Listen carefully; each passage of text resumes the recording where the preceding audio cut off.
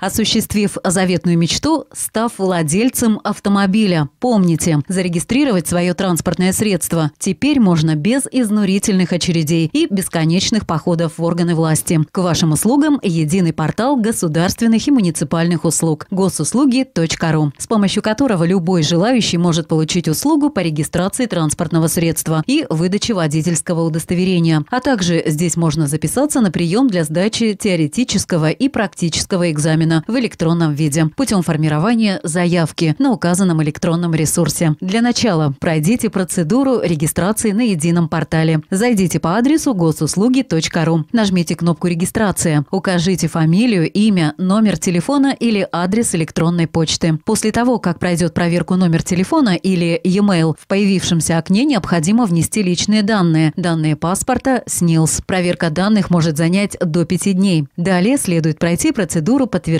личности. Для этого обратитесь в многофункциональный центр по адресу город Артемовский, улица Почтовая, 2. При себе необходимо иметь паспорт. После пройденной регистрации и подтверждения личности возвращайтесь на портал госуслуги.ру. Проходите авторизацию, выбирайте необходимую услугу и следуйте всем инструкциям по заполнению шаблонов. В результате получаете госуслугу по регистрации транспортного средства в максимально короткий срок и без очереди.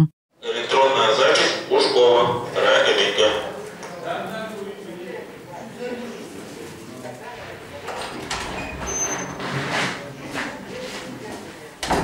Рады приветствовать вас в РАО ГИБДД Артемовский. Что у вас? Слушаю вас. Постановка транспортного средства на учет. Великолепно. Давайте ваши документы. Так. Вы у нас записались по электронной очереди, да? Да, да. Мы вас вызвали по времени. Сейчас мы проверим ваши документы по базе.